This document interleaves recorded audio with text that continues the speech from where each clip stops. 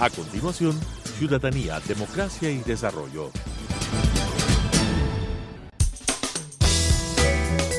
Clasificación B, bajo supervisión de un adulto.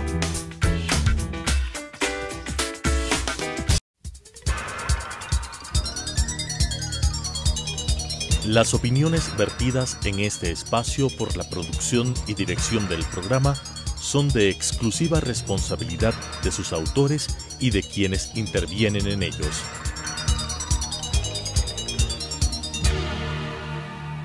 Telesucesos Canal 29 UHF y la Unión Nacional de Periodistas presentan Ciudadanía, Democracia y Desarrollo, un espacio para explorar la acción ciudadana en relación a las políticas públicas y su impacto en la calidad de vida de los ecuatorianos, con la conducción de la doctora Guadalupe Fierro.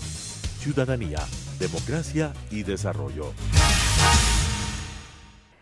Hola amigos de la Unión Nacional de Periodistas y de Telesucesos. Estamos hoy para un nuevo programa de Ciudadanía, Comunicación y Desarrollo que trata de llevar las voces ciudadanas sobre los problemas más importantes de nuestro país. El día de hoy estamos con la licenciada Rosario Utreras Miranda. Ella es licenciada en Ciencias de la Información, ha sido presidenta del Colegio de Periodistas de Pichincha, pero además ha trabajado en la CENDIP, la antigua Secretaría de Comunicación de la Presidencia de la República, ha sido concejala del municipio de Quito, también directora de un organismo muy importante dedicado a combatir la corrupción en estas esferas, que fue Quito Nesto, es también hoy actualmente militante de Nosotras por la Democracia y en esta calidad miembro de la mesa de convergencia que reúne algunas organizaciones sociales, entre las cuales incluso se cuenta la Unión Nacional de Periodistas. Em, Charito, como cariñosamente siempre le decimos, eh, vamos a preguntarle algo extremadamente importante. ¿Cuál es su percepción de lo que ha ocurrido en torno a los resultados de la pregunta 3 de la consulta popular que fue aprobada por amplia mayoría por el pueblo ecuatoriano? Bueno, muchísimas gracias por esta invitación. Efectivamente, estoy aquí en condición de ciudadana, de ciudadana que vio que los resultados de las elecciones era lo que la mayoría de nosotros queríamos, lo que, como se reflejó en los resultados, efectivamente, la mayor parte del pueblo, de la ciudadanía, quería cambios. Eh, todas las respuestas de la 1 a la 7 eh, al haber ah, contestado afirmativamente, lo que estábamos diciendo es que se necesitaba y se necesita todavía aún, porque la consulta ha sido el primer paso, se necesita todavía un proceso que permita la recuperación institucional en nuestro país, la recuperación de la democracia en nuestro país, la recuperación del ejercicio pleno de los derechos humanos de hombres, mujeres, niños, la diversidad sexual, es decir, de todos y de todas las que hacemos de este país. Podría decirse que mucho más de las dos terceras partes de la población ecuatoriana estaban anhelando ese cambio y su respuesta, el voto afirmativo, es en ese sentido.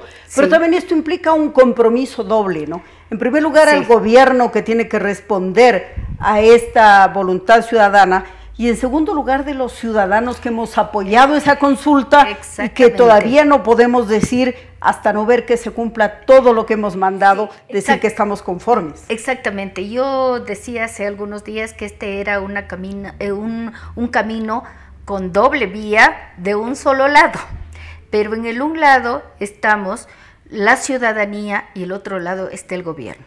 Yo creo que la ciudadanía ha dado los pasos necesarios para concretizar lo que está queriendo el deseo de que las cosas mejoren en nuestro país.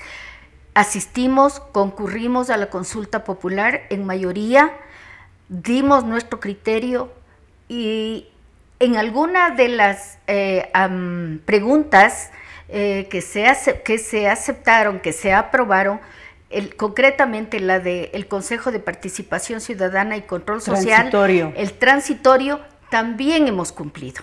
Y yo me siento muy complacida de ser parte de la mesa de convergencia que reuniendo a 16 organizaciones sociales súper diferentes, eh, cumplimos con nuestro compromiso ciudadano de presentar una lista de nombres.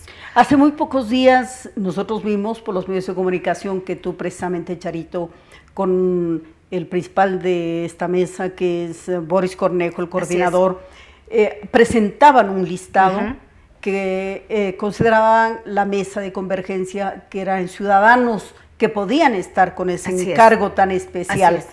¿Qué, ¿Cuáles son los resultados de esa eh, propuesta? la propuesta nuestra era de 24 personas, hombres y mujeres, casi en equidad, porque las mujeres eran 11, los varones 13, pero más o menos había una equidad. Pero adicionalmente había, hubo una mm, preocupación de, parte de la mesa de convergencia de eh, buscar personas, ciudadanos de diferentes sectores de la ciudadan del país, de diferentes regiones.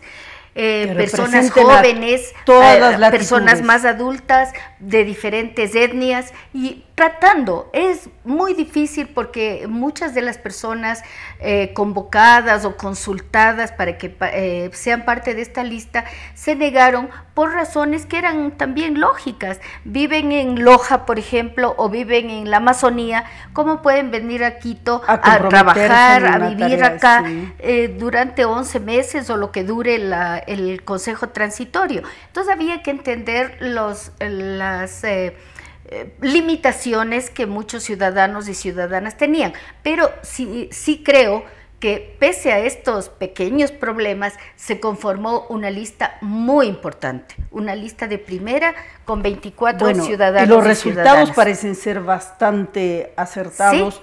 Porque las eh, nominaciones enviadas por el señor presidente de la República han sido tomadas muy en cuenta personalidades que ustedes Afortunadamente es así tres de las personas que nosotros eh, pusimos en la lista eh, encabezan las eh, tres ternas, el doctor Julio César Trujillo, Manuela Gallegos y Mariana Alcíbar. Y adicionalmente, una persona que es absolutamente reconocida por su honestidad y capacidad, que es María Arboleda, también está en la, en la terna 3 junto con Manuela Gallegos. Bueno, este es un resultado bastante interesante y también el compromiso sube, porque la mesa de convergencia, no que ha respaldado estos nombres, de igual manera tiene que estar presente en todo el proceso que se viene, que no, es muy complicado. Bueno, y empecemos por algo, Charito, en este proceso. Ya están estas nominaciones, independientemente de cuáles son los resultados, la Asamblea tiene la palabra. Y esperemos que en la Asamblea haya un resultado también que acoja, como el presidente de la República, una voz ciudadana, ¿no? Pero, ¿qué decir sobre la forma en que, en primer lugar, se va a definir lo que es el Consejo Transitorio? Sí. ¿Cómo han visto ustedes ese bueno, proceso? Bueno, eh, yo diría, antes de eso, Lupita, yo quisiera comentarte que la responsabilidad asumida por la Mesa de Convergencia no queda en el lanzar los nombres, en el felicitarnos de que cuatro personas de nuestra lista fueron escogidos, sino que adicionalmente vamos a trabajar con ellos. Se les ha convocado para un trabajo conjunto aquí en, Quito para que podamos poner en claro qué es lo que ellos van a tener que hacer el momento de llegar al, al Consejo de Participación eh, transitorio porque no es fácil. Exactamente, y además estamos absolutamente claros de que el trabajo que van a tener que hacer es muy duro, es difícil, les va a tomar mucho tiempo y, queremos que su presencia, su participación sea al más alto nivel. Es decir, la adhesión sería acompañar este proceso. Absolutamente. Porque ya ellos pues eh, han dado un paso cívico muy importante al aceptar, una complejísima candidatura y el momento en que ya son tomados en cuenta, pues necesitan saber que la ciudadanía no va a estar fuera de esto, no va a dejar solo a ese consejo. Y eso es generalmente lo que pasa. Te eligen te ponen en un sitio y hasta luego. Nosotros no queremos eso. Queremos apoyarles en este proceso de preparación previo al momento en que tengan ya que asumir el rol eh, que, para el que van a ser elegidos, pero queremos tener esa responsabilidad ciudadana que debería ser compartido con todas las organizaciones sociales que de alguna manera han estado siendo parte también de este proceso.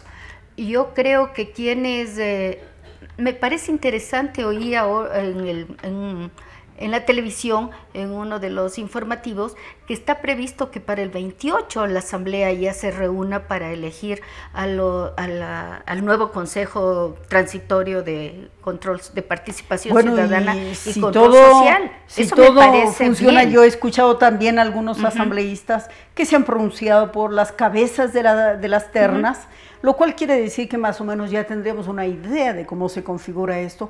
Y efectivamente hay ciudadanos de una trayectoria impecable en esto, ¿no? Así es. Más allá de los cuestionamientos de lo que podría ocurrir en esto, es importante que la ciudadanía, como tú dices, no se desentienda este trabajo. Tú has trabajado también eh, representando a la ciudadanía en la Concejalía de Quito en algunas oportunidades y se siente a veces la presión desde abajo y no el acompañamiento. Sí, yo me refería un poquito a esa experiencia que efectivamente uno sube, pero de pronto se, ve, se encuentra solo y no queremos que eso pase con quienes nosotros hemos escogido, les hemos... Ah, pedido que acepten la candidatura y que sientan que vamos a estar ahí, que vamos a seguir. Pues a la vez que es un honor, también es un sacrificio enorme por el país. Más cuando el país está cada día más horrorizado por el tema de la corrupción, ¿no? y ellos uh, van a asumir el compromiso grave de hacer una evaluación sobre muchos de los puntos claves de la función pública. Ahora, Charito, dinos cómo ha pensado la mesa de convergencia y la representación del colectivo en el que tú estás, en Nosotras por la Democracia, frente a el futuro, porque hay críticas que vienen de todo lado respecto de la actuación del gobierno, lo cual es normal en una democracia, eso no debe sorprendernos. Entonces se ha dicho que el presidente ha sido sensible a la, a la hora de elaborar las ternas, pero al mismo tiempo se le ha criticado por el proyecto de ley que envía para el nuevo y definitivo Consejo de, Participación Social. Hay un hay preocupación, efectivamente hay una preocupación por la intervención o la interferencia, dicen algunos, del Consejo Nacional Electoral para escoger ciudadanos y ciudadanas que pasarían a futuro a, ser electos ya por votación popular. Eh, por la ciudadanía. Entonces, este paso intermedio es el que no nos está quedando muy claro. No creemos que hacía falta de que era necesario, sino más bien de que se dé el proceso directo de elección desde la ciudadanía a quienes consideren deben estar en el Consejo de Participación Ciudadana definitivo. Porque en el proyecto enviado por el señor presidente aparece un sistema cruzado, ¿no? En el que los miembros del Consejo Nacional Electoral son los que van a designar al Consejo de Participación Social, pero a su vez van a ser ellos una especie de grandes electores, pues van a, definir, quiénes, son los que van a la votación popular. Exactamente. Entonces, tal vez este mecanismo no esté claro, pero en la Asamblea hay otros criterios, parece, Charito. Sí, como en, todas las, en todo momento de un vivir democrático, como tú decías, que me parece que es muy importante, hay personas que están de acuerdo y personas que no están de acuerdo. Lo importante es conversar, llegar a, una a unas soluciones y si hay una propuesta que sea diferente a la que ha planteado el presidente, se debería tomar en cuenta a mí me parece que dada también, esto es personal, que dada la, los tiempos que se tienen que cumplir, eh, el tema de la participación del Consejo Nacional Electoral tal vez es la única camino que había, pero en todo caso sí me parece que esa, esa decisión del presidente planteada a través de la ley no, no está llegando a todos de la misma manera. Adicionalmente, yo quisiera decir que decir, el presidente de la República tiene ahorita que responder de la manera más efectiva lo que la ciudadanía, el, el, proceso que la ciudadanía ha vivido, que no nos deje pensando que todo el esfuerzo que hemos hecho, toda la participación que hemos dado vaya a quedar en manos de personas que no, que no se merecen estar en, ese, en esos sitios. Ahora, hay algo de lo que no se ha hablado mucho en este tema de las terras, pero que es sumamente interesante, y es el hecho de que en una responsabilidad tan clave como la que se les ha asignado, en una coyuntura tan difícil que, como yo recuerdo, muy pocas veces ha habido en el país, eh, la presencia de la mujer es bastante alta, porque hay algunas cabezas, ¿no? Eh, dos ternas son encabezadas por mujeres. Así es. ¿no? Y además hay una eh, presencia interesante, no llega a la paridad, pero sí muy importante de mujeres. Entonces, eh, esto desde el punto de vista de un colectivo como Nosotras por la Democracia, ¿cómo lo aprecian ustedes? Bueno, nuestro deber ser es de que haya la equidad, que haya la paridad, de que las mujeres tengamos un espacio igual que el de los compañeros varones. Lamentablemente, y es una decepción que yo he tenido, nosotras luchamos mucho, muchísimo y por mucho tiempo por la ley de cuotas. Esa ley de cuotas que nos permitía que a la asamblea, por ejemplo, lleguen 50% o 50% de hombres y mujeres.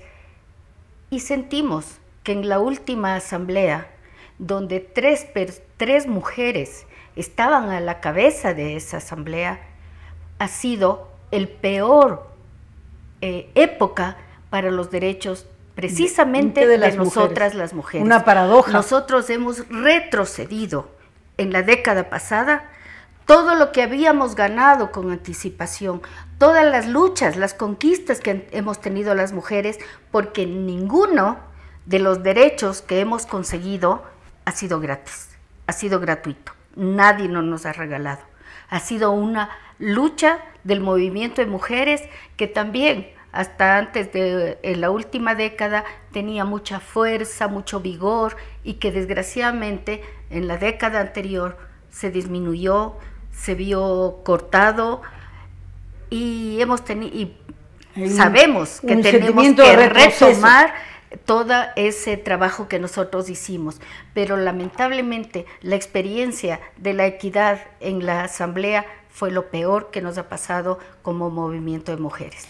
Hay que recordar que Charito Utreras fue una militante y una impulsora permanente, precisamente de uno de los em, de las herramientas más importantes para buscar la equidad en el plano de la política, que es lo que tú mencionabas, la ley de cuotas. Así es. Que establece que a partir de un 30% debía irse incrementando paulatinamente la representación. 5%, 5%, Y llegamos al 50%. Hasta llegar al 50%, que es el que en este momento rige. Y a la alternabilidad. Y la secuencialidad. sí. Era alternabilidad y secuencialidad. Estos tres eh, elementos, el hecho de que haya ido la participación aumentando, de que haya habido la alternancia y la secuencialidad, son tres elementos que han servido una vigorosa herramienta legal para impulsar la participación de las mujeres. Pero aquí hay algo que tú acabas de señalar y que resulta paradójico, como es de que en una asamblea liderada por tres mujeres, no precisamente es donde se haya visto un retroceso mayor. Y tal vez esto crea a nivel de la opinión pública una actitud, una imagen que eh, es hasta cierto punto negativa sobre Nos este tema. Ha hecho mucho daño. Ha hecho mucho daño. Nos ha hecho mucho Pero esto implica que además, y esto es muy importante, no solamente es eh, impulsar una herramienta legal, sino también ir formando a ese capital humano para que vaya recogiendo lo mejor de esta experiencia. Sabes que yo tuve hace un pocos días una reunión con un contacto más bien con unas compañeras del Paraguay y una de ellas me comentaba que están en este proceso de, busca, de la ley de cuotas y de ir caminando, que están en un 30%, pero que aspiran a llegar al 50%, etcétera. Y yo les dije lo que tú acabas de decir. Por favor, no se descuiden de la capacitación, de la formación de esas mujeres para que realmente el rato que lleguen a lugares de poder y de decisión trabajen con un compromiso de género. Trabajen para los derechos, para defender, para conquistar los derechos de las mujeres, que no son, insisto, dádivas, son los derechos que, a los que nos merecemos o los que debemos ejercer por ser mujeres, por ser seres humanos. Nada más.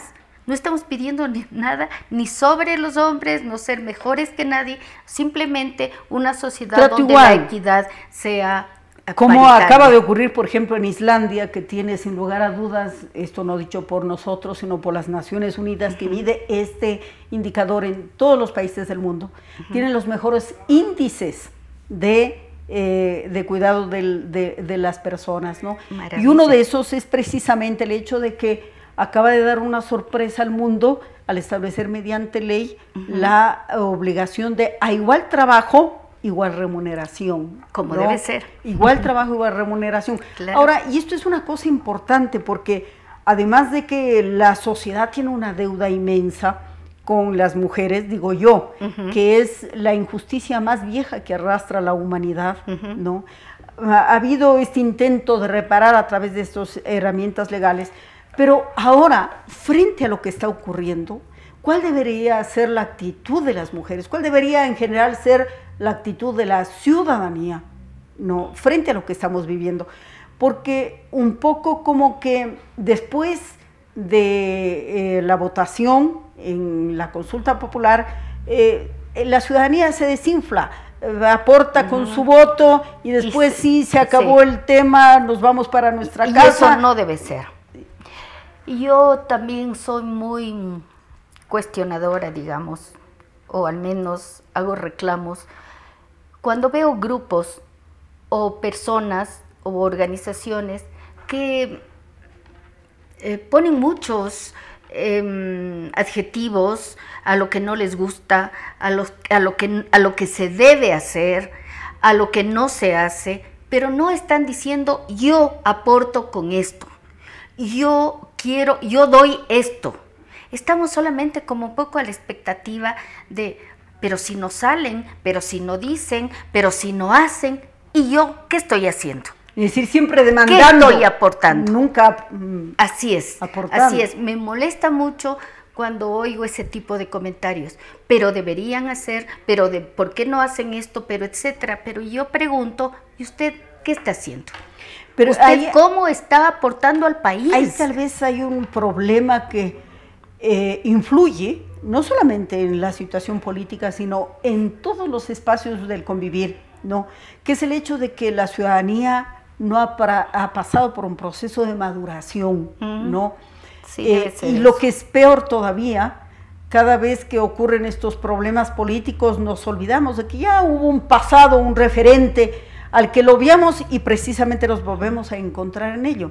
Entonces, en este punto también es eh, falla de una ciudadanía que demandamos derechos, pero olvidamos que también tenemos obligaciones. Exacto. Y yo diría que en los últimos momentos más los más álgidos que vivió la ciudadanía con las con la gente en las calles era muy importante ver muchísimas mujeres definitivamente muchísimas mujeres y no precisamente porque no tengamos que hacer porque todavía también se mantiene la triple jornada de trabajo para las mujeres frente al de los varones. Y también muchas personas mayores. Eso me gustó muchísimo ver mujeres ya de una edad avanzada, más que yo, de hombres igual, ya con sus pelos blancos, pero también en las calles, también reclamando. Con una conciencia de que hay que participar. Más bien me parece que la juventud todavía no ha dado todo el aporte que podrían dar. Son, tienen energía, inteligencia, todo, no sean posibilidades de darnos ese cambio que el país está necesitando. Bueno, aquí tal vez también haya que pensar que 10 años ¿no? de eh, un proyecto que se ha esparcido por todos los rincones de la formación ciudadana es una cosa importante. Yo acababa de ver hace muy poco que había una denuncia acerca de pretendidos errores garrafales que hay en los libros de texto educativo. Ah, sí, ¿no? sí, sí, así es. Dice errores garrafales, pero me parece que un poco va más allá, que no, No, son es- errores, sino no. que es una formación intencional donde se sesgan varios aspectos de la formación y de la historia reciente de nuestro es, país así es. y de la anterior inclusive, ¿no? Y entonces, eh, ¿qué es lo que hacemos? Formamos a ciudadanos que no tienen una madurez ni una información adecuada. Y ¿Qué otra- hacen los periodistas Otra ahí? cosa que es dolorosa, antes de contestar tu pregunta, Lupita, es que también en estos 10 años es toda una generación que se estaba formando y que lamentablemente vieron un tipo de gobierno autoritario eh, que da- eh, decía groserías eh, sin ningún problema, un tipo de gobierno que no Normalizó debe la ser. agresividad Pero exacto, pero eso pauta de es lo que han visto durante 10 años y entonces sí es preocupante que puedan creer que eso es lo normal, que ese tipo de, de gobierno o de democracia es la que debemos vivir y no es así. Nosotros queremos un cambio definitivamente porque eso que vivimos por 10 años no puede volverse a repetir. Bueno, hemos visto, queridos amigos, con alguien como Charito, que es una persona que no ha dejado un segundo desde que yo la conozco en las aulas universitarias de luchar por causas nobles. Esto es ciudadanía comprometida. Eso es lo que hace, creo yo, la diferencia entre un futuro que puede ser negativo para todos y un futuro que nos depare mejores cosas incluso que las que hemos vivido y que es- para las nuevas generaciones sean cada vez mejor. Muchísimas Yo creo, eh, Charito, eh, que nos queda un tema por tratar y lo haremos en una próxima oportunidad porque tú eres comunicadora al igual Sí. que yo. Y la pregunta es, ¿qué hacemos los periodistas en una situación como esta? Con esa pregunta volveremos en un próximo programa. Muchísimas gracias a ustedes que han escuchado eh, el programa de la UNP y de Telesucesos. Las opiniones vertidas en este espacio por la producción y dirección del programa son de exclusiva responsabilidad de sus autores y de quienes intervienen en ellos.